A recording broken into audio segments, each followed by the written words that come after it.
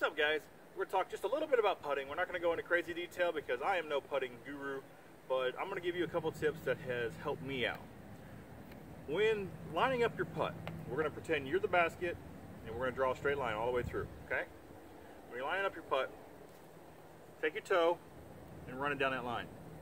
Take your heel and, and put it on that same line, okay? Don't put toe and toe because you'll be like, you'll fall over. Put that heel now you have balance to go back and forth and side to side. You're not going to fall over, okay? So you got the basics there. Next, take your disc, come down that line, and then back up that line. Seriously, that's it. Come down the line, back up the line, and follow through.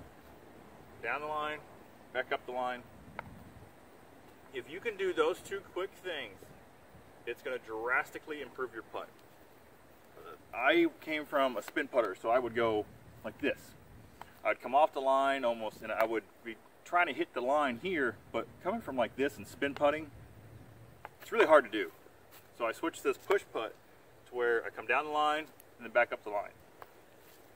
It's really starting to help me, and I wanted to share it to you guys and help you.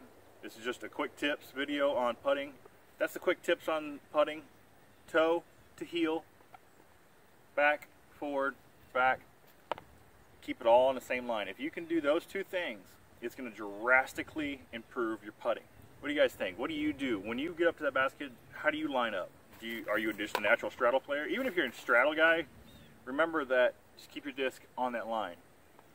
It's actually really easy as a straddle. I just it's right on that line. You just gotta put your hips. It's all about the hips. Anyway, whole other conversation. So what do you guys do? Is that that something that you guys line up and do? Let me know in the comment section. Tell me how you approach standing behind your lie. I'd love to hear other people's responses on it because we all know putting is probably the most important thing in disc golf. So if anybody's struggling with putting and they just can't get that, they're just missing that little bit of thing, share this video to them, please. If we can get one person for that light bulb to come in, you guys know how I feel about that light bulb. Once that light bulb comes on, we help, we help somebody out they're going to be more happy with how they play. They're going to want to play more. They're going to share it to their friends. They're going to teach their friends, and we're just going to keep growing the sport that way. So like it if you like it. Share it if you can, if you know somebody needs help with it. And like I said, comment down below how you approach your life. All right, guys. Until next time, take it easy.